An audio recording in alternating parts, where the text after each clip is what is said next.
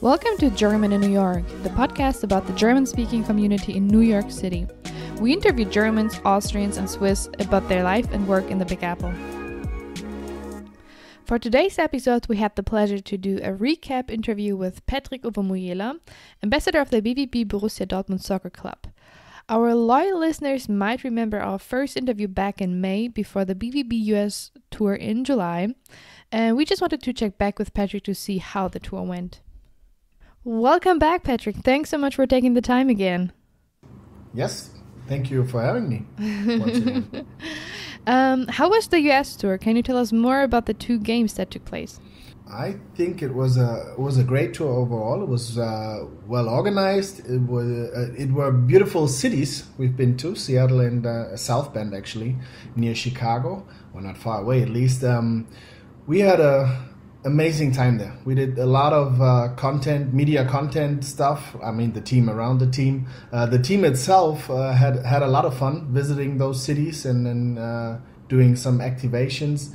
Um, and the games were, were pretty amazing. The team presented its uh, itself in a pretty early and good form, uh, which was amazing to see. There's a lot of talent. Uh, the the players that that were new really uh, really uh, really shown that they are that they're probably uh, be a, a, a, good benefit for this season as well. So overall, it was a successful tour, and we were happy to to to be part of it. So, do you have a personal highlight of the US tour? Anything special? Uh, for me in particular, I mean, visiting Seattle for the first time uh, overall, it was quite amazing. I, I, I love the city, uh, all that water we, we have seen uh, there, all the, the amazing stuff you could do. We were visiting the Amazon headquarters, and uh, to get a sense of what they are doing behind the scenes is, was quite amazing. Um, interesting stuff just the weather was beautiful so i had a fantastic it was kind of like a vacation already but still it was work but no it felt great actually. that's cool it really was amazing yeah so talking about amazon i heard some really exciting news i heard uh, of a new documentary about the bvb yes. available on amazon yes. soon right there is yeah and what's the name of it inside borussia dortmund um, it, it's it's just incredible what what the the guys have done. Um, there was a camera team uh, traveling with the team for the last uh, five months of the season, so the second half of last season, and they were basically allowed to go anywhere. So what people can see now is what really happens behind closed doors, inside the locker room, even at home, uh, at some players' homes. Uh, a lot of people will be familiar with the All or Nothing uh, documentaries about American football, rugby also, and uh, and um, Manchester City done it as well in, in, in English football. But Borussia Dortmund is the first team in, in German football history that has allowed uh, a camera team to follow them every step, mm-hmm. and it's it's just in, it's just amazing what you can see, how many insights you will get. There's a lot of uh, behind the scenes stuff, obviously. So it's it's just great. It's entertaining, but it's it's really interesting to see. I can't wait to see it. It sounds really good. Um, the news don't stop here. We also heard about a new collaboration that is called BVB International Academy America. What exactly is that about? so BVB partnered with uh, U Soccer International Academy, which is a already existing uh, academy uh, organization in the US, and our sponsor Puma, and founded the BVB International Academy on the 1st of July. Um, there are like seven training centers all over the US, especially in the South. And uh, that's obviously a, a, a, reaction to the, the the growing demand and interest in, in soccer in the US and in the BVB itself. So what we're trying to do there is to provide an authentic uh, experience, a BVB experience, and a holistic insight to to uh, to professional soccer or the professional soccer environment. Mm. Um, it's an opportunity for young players between I think it's between six and nineteen years, like that, to to do the same stuff that that Marco Reus and Mario Götze and obviously Christian Pulisic, who's unfortunately not not uh, a part of our team anymore. But he he's been uh, on that path. And they will get an opportunity to to do the same stuff to train like these guys and and, and really get a feel of what it's what it's what it means Mm, to, to cool. become professional and to play for the BVB.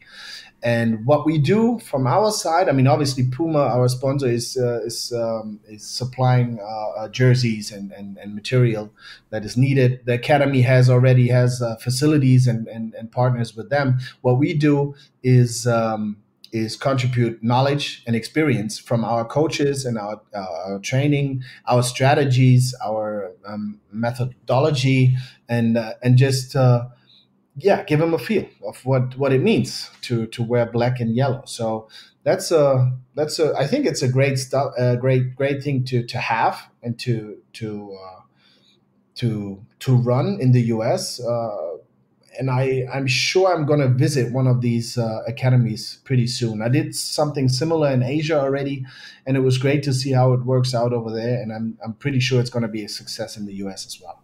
It sounds very much like the youth camps BVB has in Dortmund. Is it is it like that, or is Right, it right. is it different, or No, it's it's actually kind of kind of similar. So you will get a feel of what it's what it means to to train under these kind of conditions and and with coaches that do the same stuff that that are done in with our professional team and our youth teams obviously as well.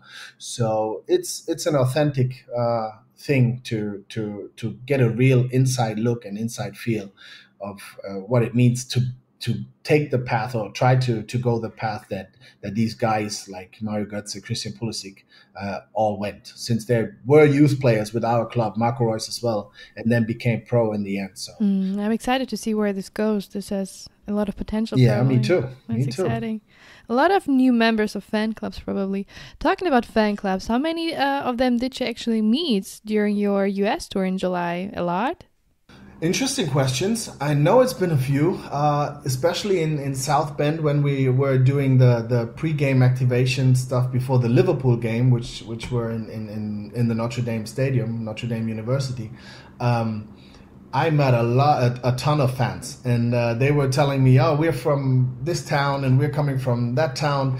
I really don't uh, remember where they were all from, but I I do remember that the the uh, Borussia Dortmund fan club Midwest, which is based, I think, in Chicago, and uh, uh, and the Brooklyn Borussen, Oh, the, the fan club out of New York, was uh, they were there as well. That's So amazing. Yeah, they were there as well, at least with a couple of guys, and I was uh, happy to hang out with them, have a have a cold drink with them because it was really really hot and humid in in South Bend. Uh, but that was great, and it was great to see how the, the fans supported uh, the club and how it uh, evolved over over the last couple of years. Oh, yeah, I believe now. that. Yeah. That's nice. By the way, um, for our last episode, we talked about how you were able to increase the number of fan clubs during your last visit.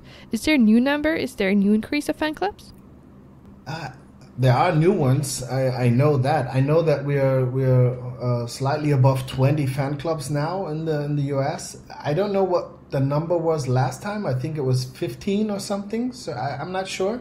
So so it's been a, a couple of new ones uh, showing up, and that's just just uh, good stuff to see. I was all over the world in between those two USA trips. I was in Asia as well, and the number was increasing there too. So overall, uh, the attention uh, Borussia Dortmund gets, um, especially in the US, and the, the the growth of the market there, and the interest in BVB is is just good to see. It's fun to be part of it. It's fun to to to go and, and, and see those people and see the, the development there. It's it's just it's just good that people appreciate the work we do.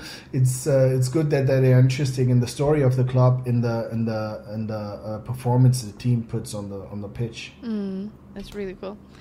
We also have the pleasure to announce exciting news. You will be in New York soon again, right?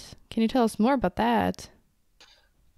Yes, I'm happy to come back uh, to the Big Apple, and uh, I'm not just coming back for for private matter. Obviously, I'm I'm gonna visit the Brooklyn Borussen fan club, and we're gonna have a, a, a, a let's say fan party, at least a small one, uh, watching the game together. It's gonna be the the game of two of my former clubs. Obviously, BVB is one of them. The other one is Werder Bremen. Yay. So uh, I'm happy to be with them to watch that game, and I think it's on the 20. oh, let me let me just check real quick. Mhm. It's the 20, 28th. 28th of September. So it's a month from now, a little bit more than a month from now. Uh, I'm gonna be there. I'm gonna see what they do That's gonna be uh, exciting. when the game is on, how they celebrate. Uh, ho- hopefully, at least celebrate when my team will win. Um, now I'm really looking forward to it. Meeting the other members of the club, uh, seeing the bar where they always watch the games, hang out with them, have a chat, and uh, yeah, just uh, be part of that event. So that's that's the big news. 28th of September, Ovo is going to be in New York and watching a BVB game. I'll Boys. definitely be there. That sounds cool. Yeah, I hope so. So everybody who can make it, uh, I don't know how many people fit in that uh, location actually, but hopefully it's going to be crowded. Hopefully it's going to be uh, packed, and uh, hopefully it's going to be a, a great game. I will enjoy it definitely. so, are there tickets our listeners can buy, or is there some RSVP that we have to send out? Where do they get the info? I I think uh, any news regarding that will be available via the, the Brooklyn Borussen itself and Oh, their okay. probably their homepage or, or their Mm. contact. So it's not a BVB event. It's uh, it's a event which I take part, and obviously the BVB will take part in with my persona. But uh, it's a Brooklyn Borussen event, Mhm. and I'm going to join. So any information regarding that should be available via the Brooklyn Borussen uh, and their homepage or Okay, their perfect. site. We will add a link down in the, the description. I can imagine the Brooklyn Borussen are probably really excited to have a special guest there. Actually, I, I'm just a BVB fan wanting to join, and I promised it. Uh, I promised it to those guys that I will come and see what they're doing and come and join and watch a game with them. And when I do promise something, then usually I uh, I follow up on it. So that's what I'm doing now.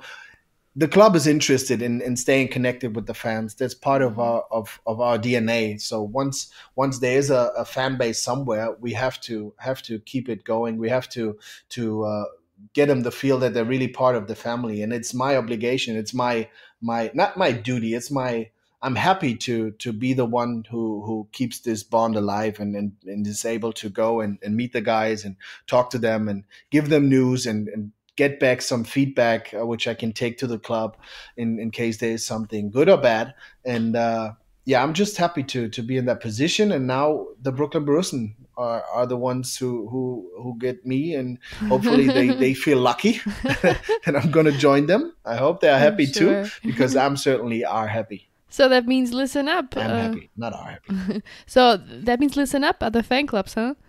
This is what you get to everybody listening. So uh, when you when you commit as a true fan club and and and organized fan club with the BVB, then you will get me or somebody else to come and watch a game with you. But uh, yeah, it's uh, it's a, a lot of times it's me traveling to the US and, and meet the guys. I'm trying to do my my uh, give it my my best and, and try the best I can to to make it a fun experience for everybody. Mm.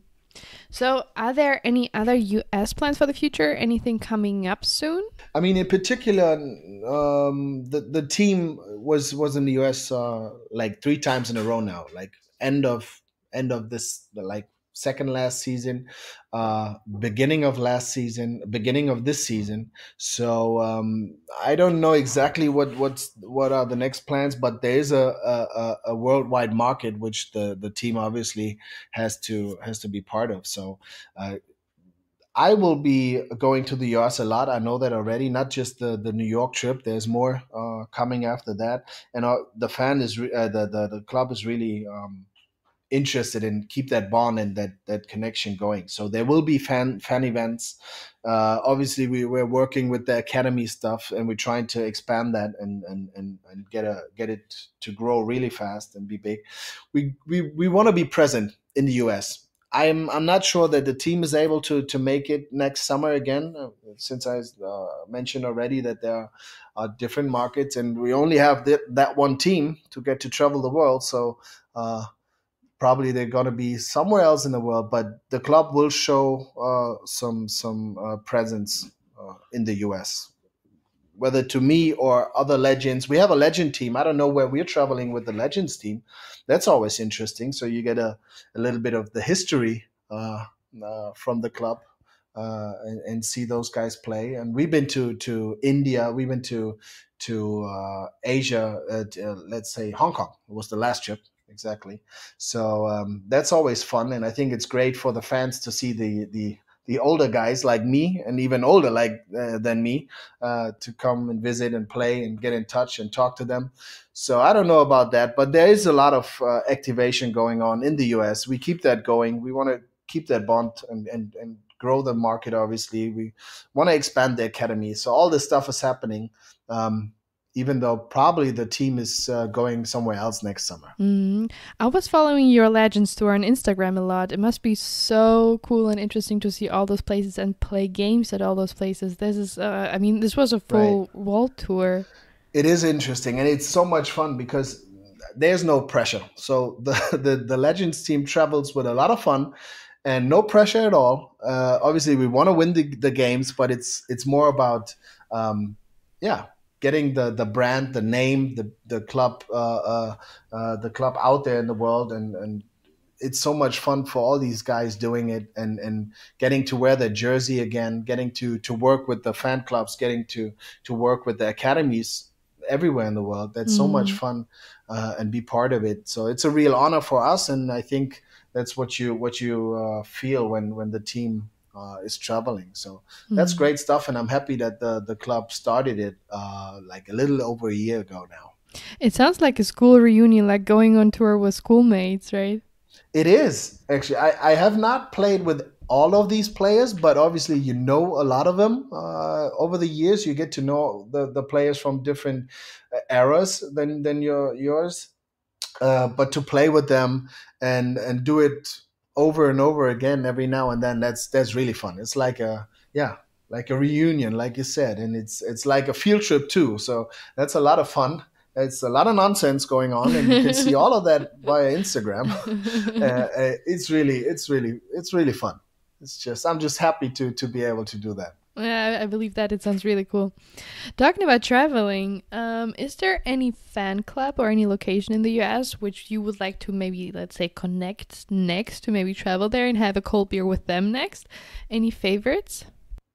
I mean, I'm always happy to connect with, with all of the fan clubs and all over the place. When when you ask me and I could choose or pick, uh, I had a great time in, in Los Angeles uh, the last time the, the team was there and, and myself.